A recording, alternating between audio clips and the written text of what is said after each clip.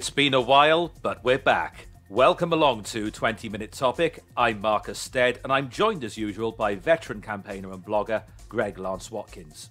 The situation on the Russia Ukraine border is becoming more serious by the day.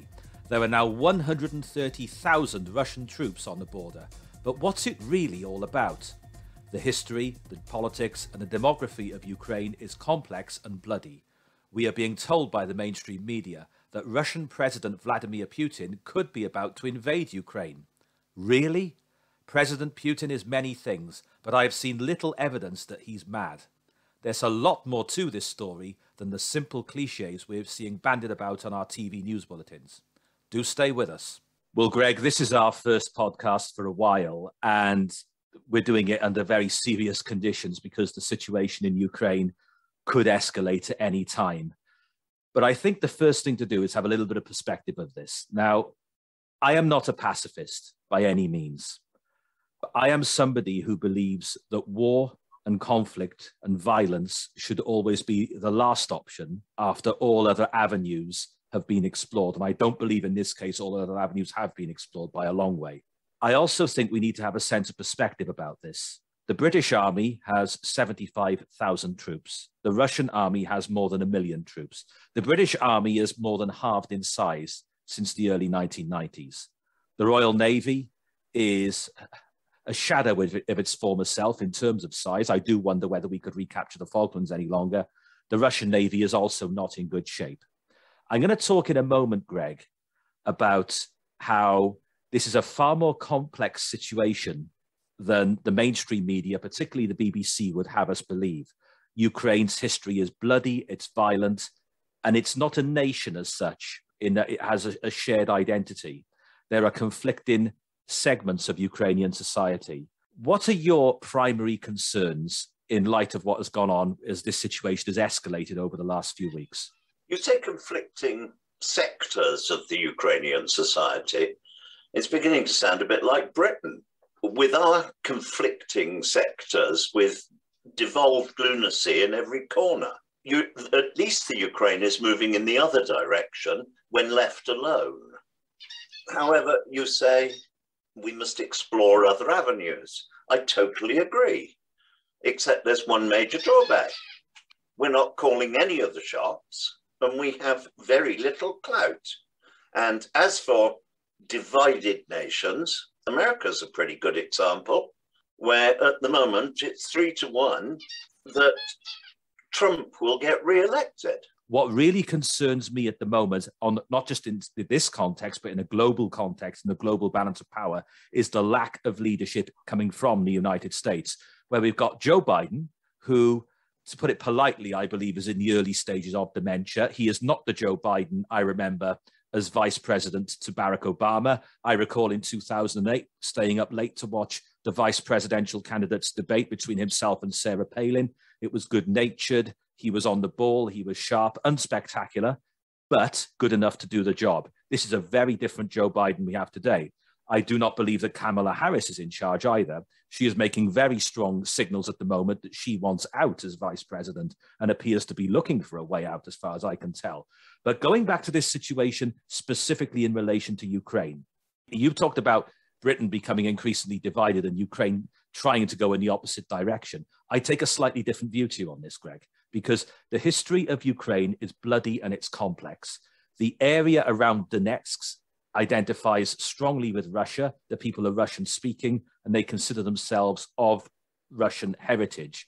Now, with the collapse of the Soviet Union, a bit of historical context, and some of our younger listeners, you've got to remember, I was born in 1983. I can just about remember the events of the late 80s, early 90s. People younger than me will not really have as much concept of this unless they're well read on the subject. The collapse of the Soviet Union, Russia gave up a lot of land it allowed the reunification of Germany, which actually Margaret Thatcher wasn't all that keen on. But in return, the deal was that NATO wouldn't expand eastwards. And there is a significant body of documentation, uh, which is now in Washington University, that backs this up. That was essentially what the deal was at the time in terms of the global balance of power. Now, to move the story forward, the overthrow of President Yanukovych in Ukraine in 2014 Well, that was a that the way that was reported as though Yanukovych was the bad guy and the protesters and the new government were the good guys. The truth was far more complex because point one, if you didn't like Yanukovych and if the West had concerns about Yanukovych, well, an election was due within a year anyway. This was 2014 we're talking about. The overthrow was bad news for those who consider themselves ethnically Russian.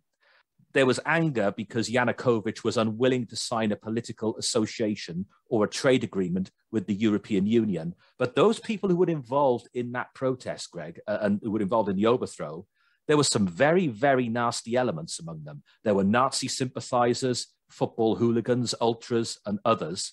The government that followed post 2014 was very pro EU, signed that agreement. Russia refused to recognize the new government, believing with some justification, in my view, that it was uh, it was illegitimate. It, it wasn't elected by democratic means. It wasn't elected at all. Now, going back to the point I was making a moment ago, and this is where I want you to explain the options in regards to this, Greg the greatest anti Soviet diplomat of the immediate post Cold War era, George Kennan. He's come out of retirement recently and made some interesting comments, but he warned against the expansion of NATO towards Russia's borders. He said the expansion of NATO right up into the Russian border is the greatest mistake of the post Cold War period. And then you've also got Yegor Gaidar, the former Russian prime minister, somebody liked in the West because of his economic reforms. He contacted Canada's ambassador, Chris Westdal, in Moscow in 2004 to say he had come to beg, to plead, to advise Ottawa against further NATO expansion, which would, he warned, bring out the worst of Russian instincts. Now, Greg, there are what? We're told 100,000 Russian troops near the Ukrainian border at the moment. But we can see it's not as though the West has stuck to what was agreed at the collapse of the Soviet Union, is it? the Soviet Union had no say in what was agreed. The Soviet Union had collapsed. It had withdrawn because it had been defeated not by force of arms, because we could we could in fact at that stage have done that without too much trouble. Their aeroplanes were rubbish. Their navy was large and incompetent, and their army was yes, it was large, but look what happened to it in Afghanistan to show you how good or bad it was. That it really wasn't the power that it believed it was, or many in the West believed it was. Its main power in those days was sabotaging our nuclear energy, which they did by funding CND around the world. That was their power.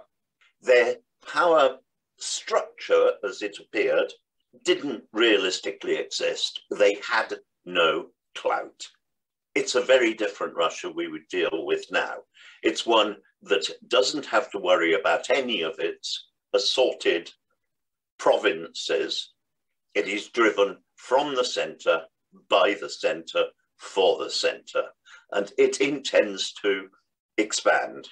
It is not for Russia to dictate to NATO what as a free and democratic structure NATO chooses to do.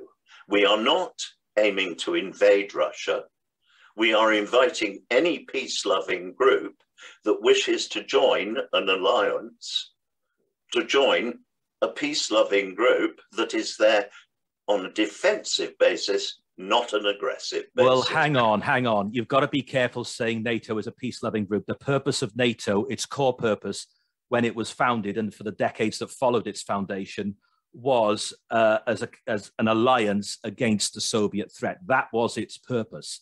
Now there have been various political commentators, not just not just in Britain but around the world, who have said that NATO served its purpose. NATO's purpose in the post-Cold War era could not necessarily be described as peaceful or peace loving if you look at the way it has already intervened in Eastern Europe, in various parts of Eastern Europe in the mid to late 1990s.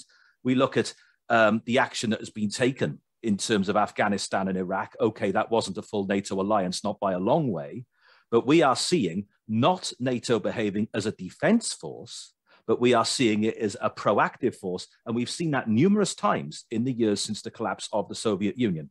Name me one country we've invaded as NATO. Well, no, we haven't invaded any country as NATO, but ah, look at look my point is made. We have been there as a defensive organisation. Yes, in defence against our primary enemy that we have seen, which is the North Atlantic Treaty Organization. The primary opponent to that was Russia.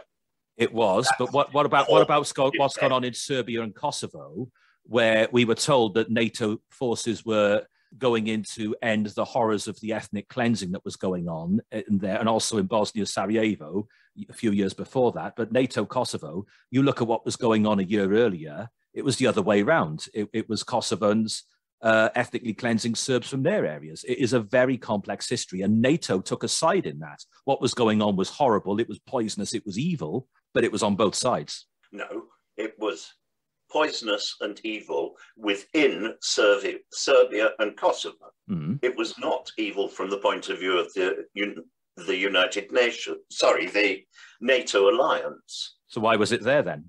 Why was it there? Mm.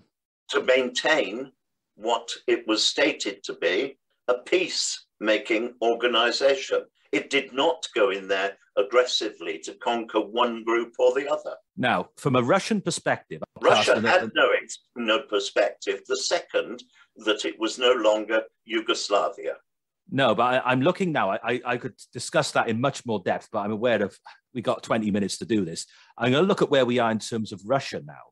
And Russia you could argue, and many senior British politicians of the era have said that not enough was done to bring Russia in from the cold in the years immediately following the collapse of the Soviet Union. But we are where we are with this now. And Russia, economically, it's not in particularly good shape. In terms of its navy, it's not in very good shape at all. In terms of its army, it has modernized hugely in recent years, and it's the, the vodka drinking culture there has been curtailed quite considerably in terms of military power, Russia is back. And from a Russian perspective, if you can see hostile troops immediately beyond your border, they will see that as a threat and they don't do humiliation. If you poke the bear, you're going to get a response. I don't disagree with you.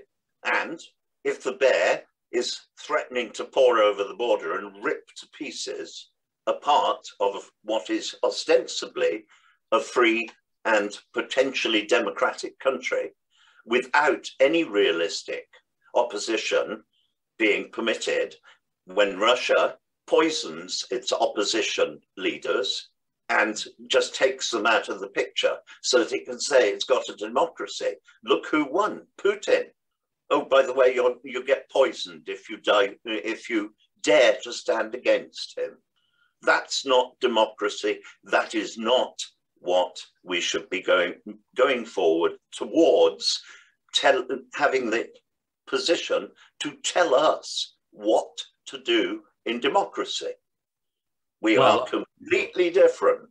Well, in terms of democracy, as I've already touched on in this podcast, there was nothing very democratic at all about the events of 2014 when President Yanukovych was overthrown, in effect, because he wasn't willing to sign a political association or a trade agreement with the European Union. And as I've already alluded to, there were some very nasty elements in that overthrow, and the EU backed it all the way, as did the United States. There's nothing democratic about that. Uh, there was nothing NATO to do with it either, was there? No, but it was a lot to do with it. Germany America. cannot be relied on as a NATO ally. France can't be relied on as a NATO ally. No, but we saw how the United States, Britain, and many European countries, and the European Union as a body in its own right, did back that overthrow of a democratically elected president of Ukraine by a gang of thugs and the installation of a pro EU president in the immediate aftermath. I think you're missing one of the major points about the Ukraine. Russia cannot permit the Ukraine to influence the politics of Russia. It's as simple as that. And the simple reason is for exactly the same reason as you will never have democracy in a Muslim country. For the simple reason that your parliament, democratically elected parliament may decide whatever it likes. If the mullahs don't like it, they change it on a Friday night. And Russia is in exactly the same position where there has been a re-emergence in Russia of Christianity. Christianity, which is dominated by the Russian, uh, um, the Russian Orthodox Church, I think is what Orthodox Church. Yeah, I lost yeah. that one for a moment. Yeah, um, and it's dominated by the Russian Orthodox Church, which is centered and commanded from Kiev. I look. I'm in no doubt that Putin is his power is quite considerable after more than two decades. I mean, what was it now? Uh, Boris Yeltsin resigned on the, the, very eve of the millennium, just as we were going into the year 2000. Yeah. And well, here we are now, and it's been more than two decades has passed. He's consolidated his power, and the, the, the brief period Russia had in the 1990s of comparative uh, journalistic freedom and opposition freedom that has been curtailed. We've seen how he's behaved towards such figures. But now, where we are now, is his power in Russia is very much so he's many things. He's a bully, he's controlling, he's a tyrant, he can be cruel, he can be sinister. I cannot see any evidence, though. The one thing he's not is mad. And the one thing that would threaten his power would be to invade Ukraine. That really would threaten his power. And I don't see much evidence that he's going to do that myself. And that the, actually, the President uh, Zelensky of Ukraine also believes the same thing as me on that. In the short time we've got left, and we really haven't got much time, so I ask you to be brief on this, please, Greg. One thing we haven't talked about in much depth is we, we touched on it at the start, but we haven't actually discussed it as such, is the extent to which Ukraine is a divided nation. And this significant Russian speaking, Russian identifying minority, um, particularly around the Donetsk area, have been far from impressed with the governments of recent years. And what was seen to remedy that was the Minsk II agreement. And what that did is look, Ukraine could, in theory, become a very, very wealthy country because it's got well Sebastopol and, and the significance of the port of Sebastopol. We haven't even touched on the situation in Crimea, and we're not going to have time to now. But Minsk II was about essentially creating a federal Ukraine where the individual identities of the various sects of Ukrainian societies were respected, whilst maintaining Ukrainian nationhood. Because, in terms of Russian language rights and in terms of civil rights, the significant Russian speaking minority doesn't feel as though it plays a full enough part in society and doesn't have the rights that the more European sect identifies with. But Minsk II seems to have gone well and truly on the back burner since about January 2015. And that, I think, is what is at the heart of it in why Ukraine is such an unhappy and such a divided society. Now, then, Greg, touch on that if you will. But in your final thoughts in the time we got left, and I ask you to be brief, please. We both agree that war should be the last option. What can be done at this stage to remedy the situation? Make it absolutely clear to Russia we will not be dictated to by one little tin pot mighty power who is nothing more than an unreconstituted KGB colonel, who is a bully, as you said, who is willing to use military might as a threat to get his own way. We will stand there, and if he intends to use his military might, I regret to say, if we are going to have peace in the world, we are going to have to be prepared to stop him. And when it comes to Minsk II, that was an agreement that was dictated outside of the Ukraine. It was not a Ukrainian treaty. It was one yet again demanded by Russia and agreed to by elements of the European Union. It was a three it was a three-way treaty, but if you just discard that completely, then you're going to end up with civil unrest in Ukraine, which we've seen plenty of in the last 30 years. We have also seen that the Ukraine are the ones who are just are ignoring Minsk II. They haven't been clamoring for it to be enforced any more than they clamored to have 30,000 people killed in the Crimea. Final point from you then. I don't believe Putin is mad or stupid enough to invade Ukraine. Do you agree with me on that? No. You think he could do it, do you? Uh, I think he could. I think he is mad enough and stupid enough and so self important that he could do it easily in the realization that it can probably be controlled on the basis he can bully his way into it and have minimum numbers killed. But he would have that no, those numbers killed quite happily. He was mad enough and brutal enough to do it in the Crimea. What makes you think he's any damn different? Well, the, the, Crimea was a different situation. That was overwhelmingly Russian. And we've got to take into account the Sevastopol situation there. But, Greg, I'm afraid we are out of time. This has been a fascinating discussion. There's a lot of overlap between your view and mine, some areas of disagreement. Listeners will make up their own mind, but it is good to be back, even under such serious circumstances. My thanks to Greg, as always. My thanks to you for listening. Join us again next time.